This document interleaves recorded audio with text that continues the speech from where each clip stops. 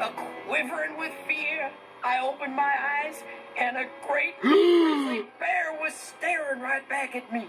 Every adventurer knows you don't want to be stuck up a tree with a bear.